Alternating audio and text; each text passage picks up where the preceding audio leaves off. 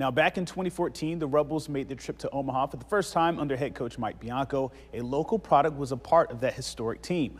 Former Ole Miss pitcher and Madison Central grad Josh Laxer was on the Rebels roster when they broke a 42-year-old drought when they made it to the College World Series eight years ago, a first under Bianco. This year's squad are the first to be in the national championship. Both teams had turning points in their seasons and have been in uncharted territory.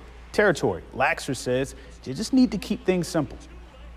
I think this team, they have just been playing pitch by pitch every single game in the postseason. And so if they can keep that mentality and stay comfortable out there like they are and just lock in for every single pitch and not make the moment bigger than it actually is, they're going to keep keep doing like they have been doing all postseason. You work so hard in the off season like I know they have and um, you play so hard all, all year long and you give all your time and you, you just love seeing that, seeing them there in that position because they deserve it.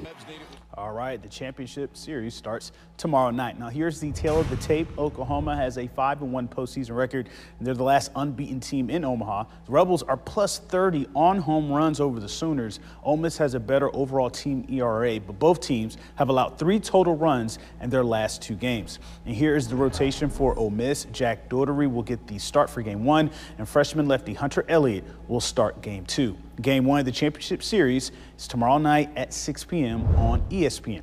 And the Rebels are hosting watch parties this weekend in Oxford. You can watch the games at Swayze Field. Gates open one hour before game times. It's free and open to the public. No concessions will be provided, so you're encouraged to bring your own food and drink out to Swayze. All right, that'll do for sports. We'll be back after this.